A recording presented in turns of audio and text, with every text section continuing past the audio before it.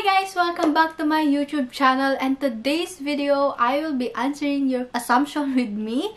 So without further ado, let's jump to the video! Okay, so today's video guys, share ko lang ha.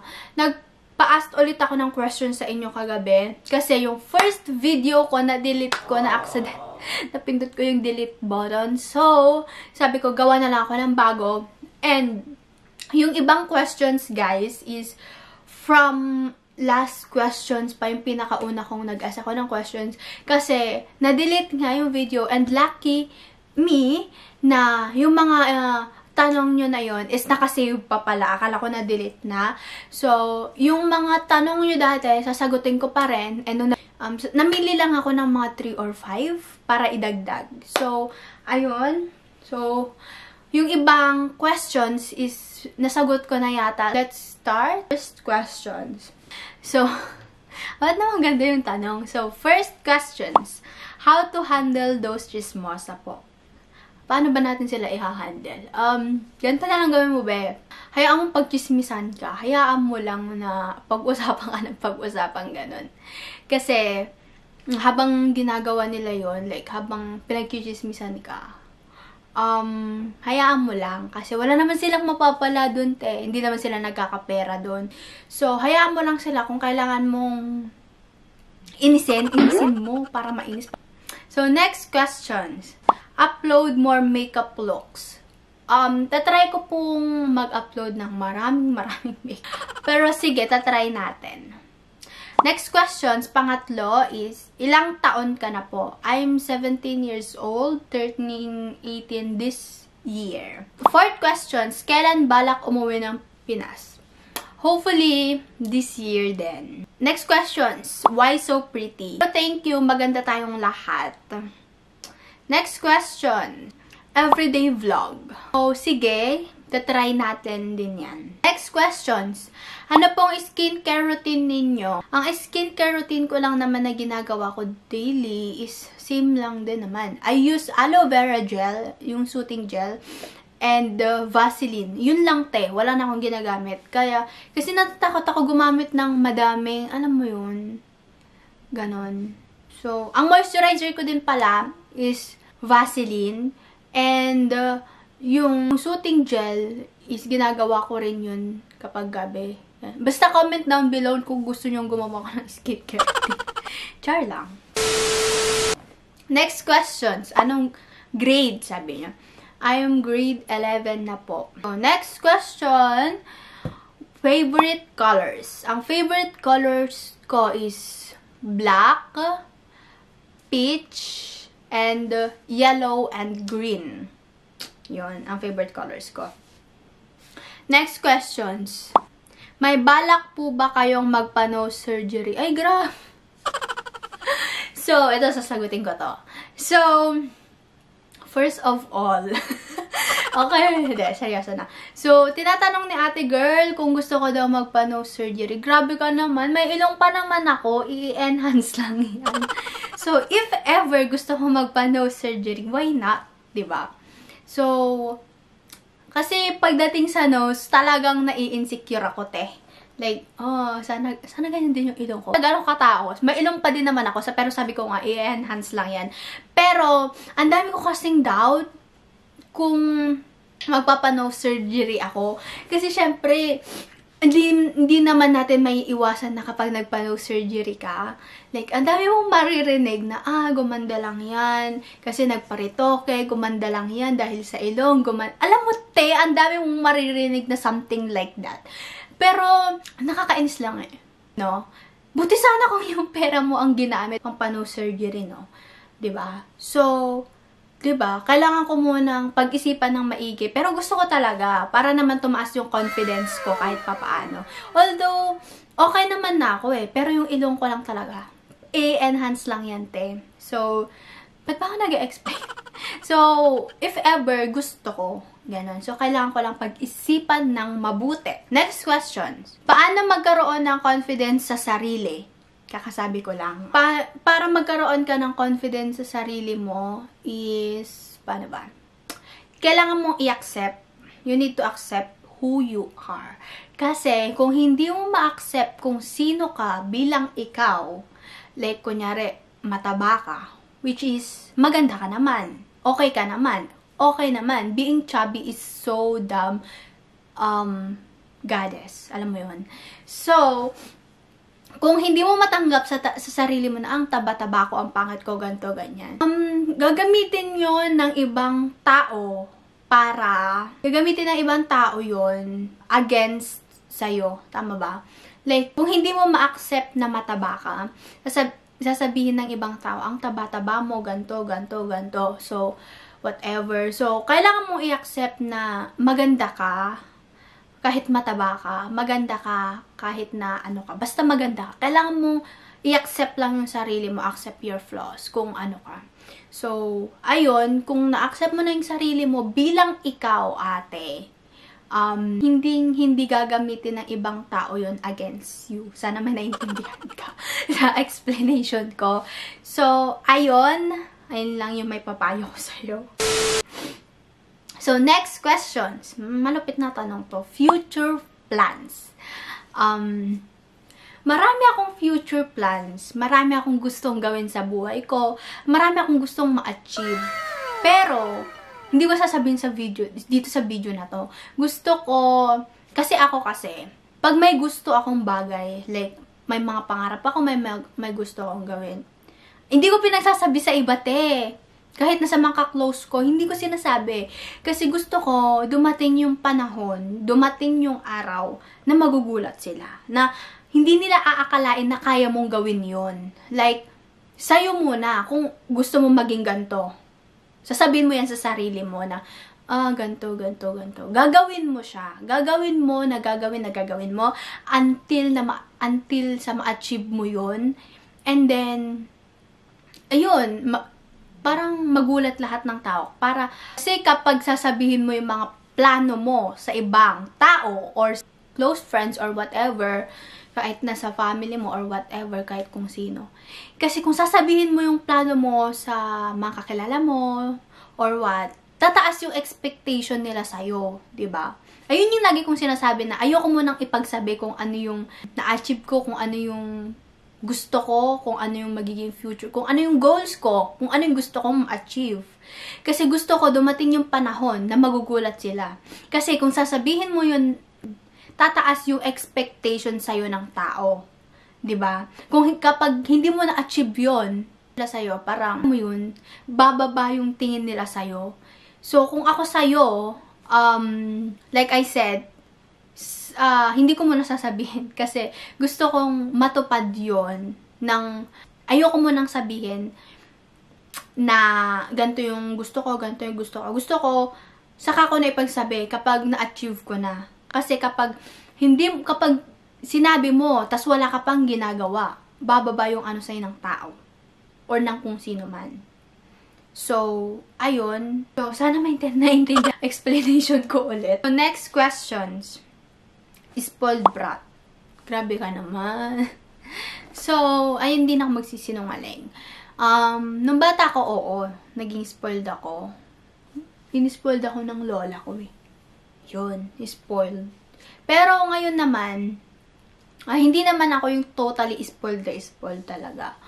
Ganon. Pero, ayoko na mag-explain. Next question. Anong madalas na pag-awayan nyo ng jowa mo? Um, ugali ko. Kasi may ugali din naman ako minsan. Pero, ayun. Siyempre, lahat naman tayo, te. May ugaling ano, wag kang... Mataray maldita, sabi niya. Depende kung kung tinatarayan mo ko, kung minamalditahan mo ko, siguro, oo. Kung mag-ayos yung pakikitungo mo sa akin, well, maayos yung pakikitungo ko sa'yo. Kung pangit yung pinapakita mo sa akin, edi mas pangit papakita ko sa'yo. O diba, ganun lang yun, te. Ang sama. May kapatid po ba kayo? Wala. Next question. Ilang years ka na po dyan? Mga, I came here 2019.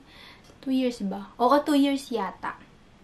So, next question. Anong masasabi mo, anong masasabi mo po sa mga naninira or galit sa inyo? Stay mad and sana may ma-achieve ka And sana may patunguhan yung pinagkagawa mo, yung, yung galit mo. Sige, magalit ka lang. Kung pakialam sa'yo, magalit ka lang na magalit sa akin. Wala, wala akong pakialam sa'yo. Yun lang, wala akong pakialam sa'yo. Stay mad and God bless sa'yo. Yun lang sa masasabi ko. Next question. May time po ba kayo na nai-insecure kayo sa iba? Pagdating sa sa nose ko, oo. Pero in other way, wala. Kasi kontento na ako eh. Kontento ako sa sa bagay na meron ako sa mga kasi bakit pa ako mai-insecure kung hindi ko alam. Feeling ko kasi hindi ko ugaling ma-insecure kasi. Pero pagdating talaga sa nose, oo. Pero like, sa mga bagay-bagay, hindi. Everyday vlog po. Gusto niyo talagang mag-everyday vlog ako, ah.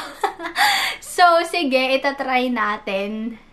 Employee or CEO? Tanong. Next question to. Uh, CEO, siguro. Kasi magand for me lang, for my own opinion, ah, there's nothing wrong with being an employee. Uh, for my opinion lang po is see, being CEO or being uh, being your own company is ano din eh, okay din. Kasi, depende eh. Kasi, gusto ko kasi ako yung nagmamanage, ganun, ganun. And, next question, branded things or simple things? Ano daw? So, ah, baka tinatanong ni ate girl kung gusto ko daw ba ng mga branded or mga simple things lang. Both. Kasi, as long as nagagamit ko, as long as napapakinabangan ko ng maayos, okay lang. Hindi naman ako yung mapili. Like, alam mo yun, hindi ako, eh, as long as nagagamit ko siya ng maayos, napapakinabangan ko, gagamitin ko. So, ayun.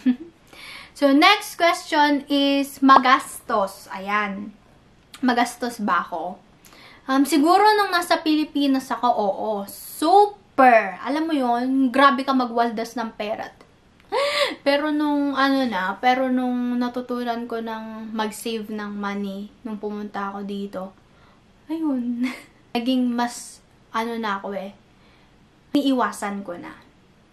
Question, kung nag-work ka po ngayon, saan mo magagamitin yung money?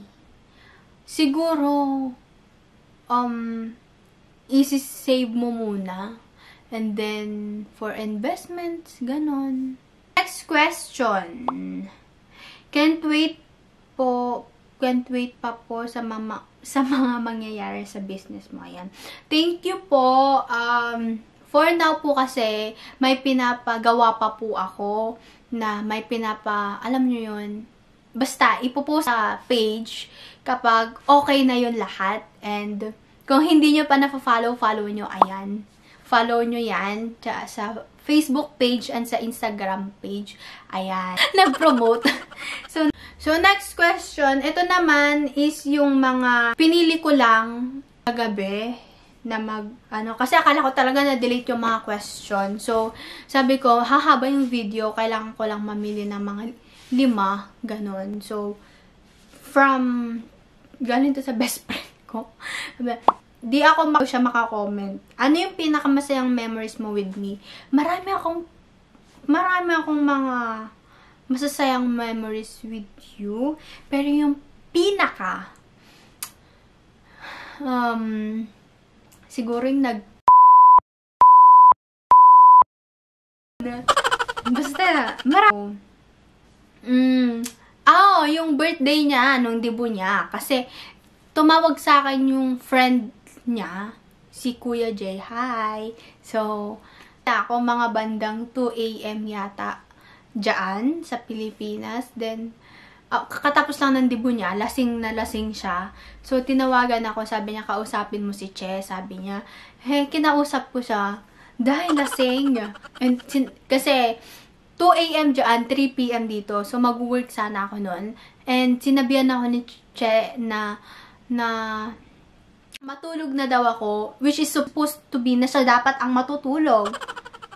Oh, tapos yun, ha, ano, ganun. So, for the first time ko lang siya nakitang lasing. And, minura ako, te. Minura niya ako. like, nagulat ako. So, sabi ko, naintindihan ko kasi lasing. Ayun, tawang-tawa ako. So, next question, dito tayo kay Ate Jazzy.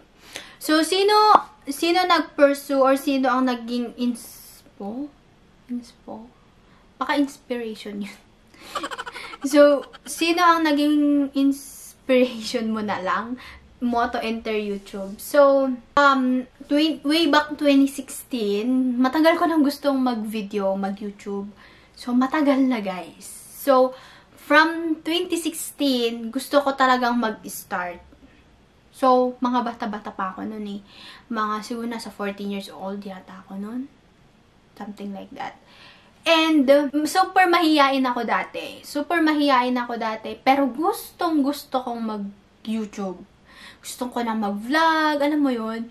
So, hanggang sa dumating sa point na nawalan ako ng pag-asa kasi napakamahiyain ko eh. Talagang mamamatay ako sa hiya. Like, mahiyain ako 200%. Mahiyain ako noon, pero hinayaan ko na. So, then, nung kailan na ba?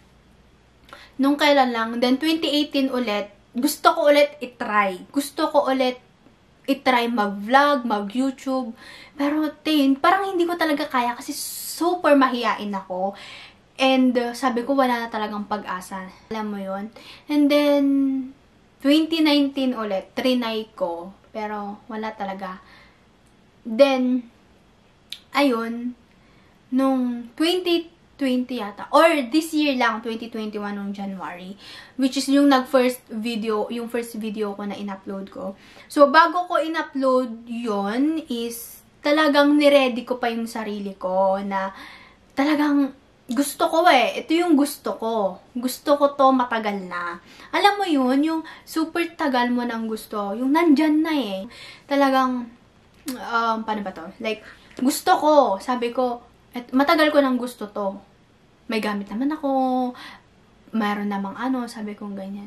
Matagal, pinag-isipan ko to hanggang sa nagdasal ako na ito yung gusto ko. Sana bigyan ako ng way or bigyan ako ng sign na ni Lord na maituloy ko to. Kasi ito yung matagal ko ng gusto. Ito yung ito yung um, pinapangarap ko lang dati. So, sabi kong ganyan, niready ko yung sarili ko na na, syempre kung mag enter ako ng YouTube, ng YouTube, syempre, maraming perfect people, no? So, sabi ko, kakayanin ko ba? Kakayanin ko ba kung may mangbabash sa akin? Kakayanin ko ba yung mga sasabihin ng ibang tao? Kakayanin ko ba yung mga sasabihin nilang hindi maganda? Alam mo yun? So, kasap ko yung sarili ko na sana, sana talaga dumating yung time na yun din talagang niready ko yung sarili ko, niready ko talaga, promise, na, na kakayanin ko or whatever kung anong sabihin nila sa akin.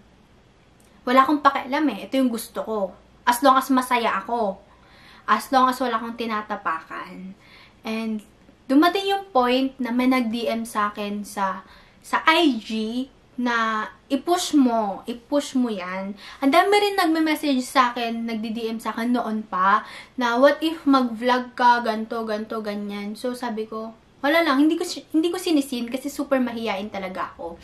And, nung ano lang, nung mga December, nagpo-post-post na ako ng mga looks ko, makeup looks. So, ang dami nagsasabi talaga na mag-vlog na ako. And, dumating yung point na dumating yung time na may nag-DM uli yata sa akin. I-push mo na yan. Sabi niya, i-push mo na yan. Um, kaya mo yan. Parang chineer up ako, te. Like, nan, mad, andito kami na nagsus may, andito kami na nagsusupport sa'yo, which is thank you. Alam mo ate kung sino ka. And, uh, dami eh. Sabi ko, try ko nga yung magpa magpa-poll, like, kung yes or no, basta yung ganun sa IG. So, ang daming nag, ang daming nag-agree na mag-YouTube talaga ako. And, uh, ang dami ring nag-vote na gawin ko to. Like, sabi ko, oh, sige. Talagang niready ko yung sarili ko na mag-enter dito sa YouTube kasi alam mo na daming ang daming mga perfect people, di ba? So, ayun, sabi ko, as long as happy ako, as long as wala akong tinatapakan, ipupush ko to kasi matagal ko na tong gusto. So, ayun, ayun yung nag-push sa akin na matagal ko tong gusto. Sarili ko din yung nag-push sa akin kasi gusto ko to pupush ko. So, ayun. Sana may naintindihan ulit kayo sa explanation ko. So, next question from Divine. Paano mo mai-ignore yung mga taong nag-judge sa'yo? So, as, kakasabi ko lang, be, na maraming perfect people, no? Sana all, na mag-judge sa'yo. Like, hindi naman, hindi naman nila, nila makita yung sarili nila. Like, bigyan, mag-donate ka nga, mag, magbigay ka ng malaking salamin sa kanila. para makita nila yung sarili nila, no? So, um, ignore mo lang as long as mas kilala mo yung sarili mo, mas nakikilala mo yung sarili mo. Kasi sila, mga wala lang magawa lang, mga wala lang magawa yan sa buhay nila. Kaya mo lang na i-judge ka nila. Kasi darating din naman yung araw na, darating din yung araw na marirealize siguro nila yung mga pinagagawa nila. Mas, ang mas mahalaga, mas kilala mo yung sarili mo. ba diba? So, ayun. Next question from It's Me, Bea Amor. First impression mo sa akin ha, by the way, keep safe. So, ayun. So, si Bea kasi, um, fangirling din ako dati. And nakakasama ko siya And akala ko kasi mas matanda ka sa akin ng 2 years, 1 year, ganun. So, kaya tinatawag ko siyang ate dati. So, pero nung hindi ko alam, last year lang, nag-usap kami. Sabi niya, ba't mo ko tinatawag na ate? Sabi niya, mag-birthday pa lang ako. Sabi, hindi ako naniniwala. Pero nag-send siya sa akin na 16 years old pa pala siya. So, nahiya ako kung sino pa yung tinatawag kong ate. Ako pala yun. Te, grabe. So, ayun. Questions from Ate Ancheta. Ja. How are you? May, may nararamdaman ka ba lately na hindi maganda? Um, yes ate, dumating ako sa point na yon Pero, um, wala eh. Mas, mas malakas yung faith ko kay God. Kaya, nawala din siya kaagad. And, uh, part lang siguro yun ng pagiging ano, strong, ganun ba? How are you? May nararamdaman ka ba lately na hindi maganda? Yes, may nararamdaman akong iba ate. Like, super, alam mo yun, nakakalung, alam mo yung na malulungkot ka sa mga bagay na wala naman dapat, wala ka namang dapat ikalungkot. Like, um, alam mo yun, so, wala, um, nagdasal na lang ako and mas malakas pa rin yung faith ko kay God. And, ayun, naging okay na din ako. So, ayun, mag-pray lang lagi. Next question from Sarah. 0777. Bakit naman kasi ganun yung name mo, te? So, skincare. Nasagot ko na to kanina. Yung skincare ko is yung soothing gel aloe vera and yung Vaseline. And 4-in-1 na yung Vaseline ko, te. Moisturizer, lip moisturizer, face moisturizer, keneme, lahat na nandun na. Ganun. Two more questions pa. From Kimberly Villamor. So, what is your dream job? 2015 yata. Baalak ko dating maging FA or flight attendant. Ayun yung pinaka-dream job ko dati na hindi ko tinatantanan. Ewan ko, gusto, gusto, gustong gusto kong maging FA dati. Pero, since tumanda na ako, tumanda talaga. So, na, ngayong taon ko na to, iba na yung gusto ko. Like, from FA, gusto ko na lang maging business owner. Yung ganon. Parang, yun na yung gusto kong mangyari sa buhay ko ngayon. Parang, ayun na yung pinaka-dream ko talaga. So, ayun. Kung papala rin, ganon, kapag nakatapos ako. Pero, ayun yung dream job ko na ngayon, maging business owner. And, question from Christine. First impression, first impression ko sa kanya, masungit. Masungit ng mataray. Ganon. Which is naiintindihan ko kasi kahit ako rin, ganun yung sinasabi nila sa akin. Pero nung nagkausap na kami, nung nag-uusap-usap na kami, sabi ko, mabait pala siya. Sabi ko, parang parehas din kami ng sistema eh. Alam mo yun, yung parang mukha ka lang masungit, mukha, siyang mataray, mukha siyang masungit, pero pag nag-usap na kayo is parang super close na kayo and ayun, ang first impression ko sa'yo ate. So, there you have it guys. Ayan, so nasagot ko na yung mga questions ninyo na gusto nyong masagot ko. Ayan, so sana na-enjoy and na-satisfied kayo And uh, sana may naintindihan din kayo sa mga explanation ko. And if you haven't subscribed yet to my YouTube channel, please do subscribe and click the notification bell as well for more upcoming videos and feel free to comment down below kung may gusto pa kayong ip pagawa or may mga suggested videos kayo, comment down below and don't forget to like this video and share this video and I'll see you guys on my next one. Bye-bye!